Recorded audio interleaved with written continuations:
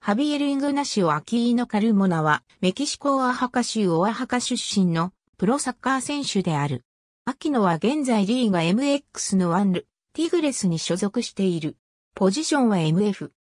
アキーノは、サッカーメキシコ代表に選出されて、コパアメリカ2011に出場したほか、FIFA コンフェデレーションズカップ2013のメンバーにも選出されている。アキーノは、オアハカで生まれた。彼は若くして、ボールを扱う技術に長けており、クルスアースルのユースチームでプレーを始めた。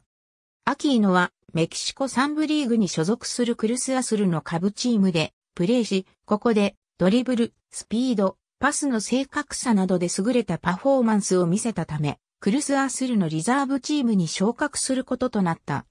数年間リザーブチームでプレーした後、2010から11シーズンに他のユース出身選手と共にトップチームへと昇格することとなった。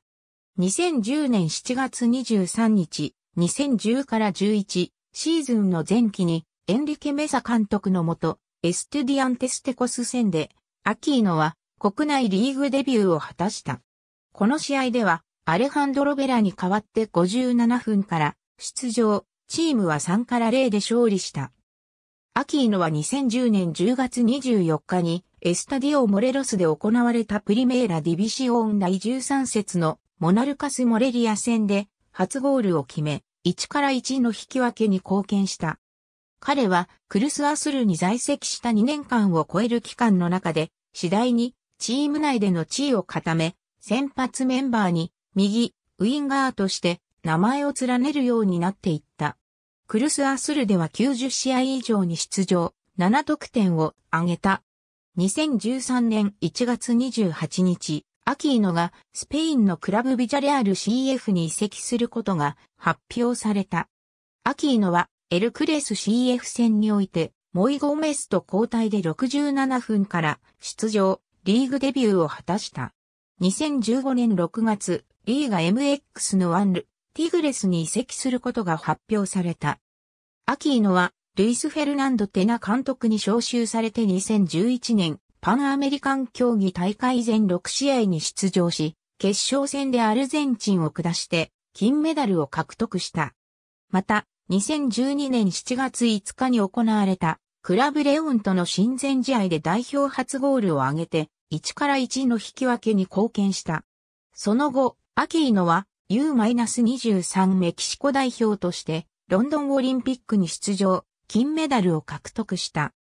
2011年7月4日、アキーノはコパアメリカ2011のチリ戦においてメキシコ代表にデビューし、グループリーグ3試合に出場した。コパアメリカ2011に参加するメキシコ代表が5人のオーバーエイジ選手を含む22歳以下の選手でチームを構成すると決定したため、年齢制限のない選考によってアキーノが A 代表にデビューしたのは2011年11月11日に行われたセルビアとの試合においてであり、86分からアキーノがアンドレス・グアルダードに代わって出場したこの試合は2から0でメキシコが勝利した。次に代表として試合に出場したのは2012年1月25日に行われた親善試合のベネズエラ戦であり、この試合で彼はメキシコの攻撃に創造性を与えることに貢献した。アキーノは1から1のスコアであった56分から途中出場するとメキシコのチャンスを作り出す役割を果たして3から1の勝利に貢献した。2016年1月18日時点2017年11月10日、実点カンペオンでカンペオネス、2016、2017、1コパ MX を含む。日本カガーフチャンピオンズリーグ、コパリベルタドーレスを含む。ありがとうございます。